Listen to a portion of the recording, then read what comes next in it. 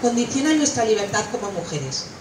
Esto, unido a una evidente falta de voluntad del gobierno del PP para actuar contra la violencia machista y la falta de una legislación que aborde de manera integral la violencia de género y la protección de los derechos humanos de las mujeres, hace que seamos sometidas a un lento feminicidio y una permisividad absoluta por parte del gobierno frente a este terrorismo, que se ubica como una expresión social de la política sexual para institucionalizar un modo de dominación masculina, un mecanismo para mantener el poder del orden patriarcal. Nosotras nos preguntamos, ¿hasta cuándo? La cultura de la violación es una lacra que tenemos que empezar a limpiar desde lo profundo, desde la justicia y la educación.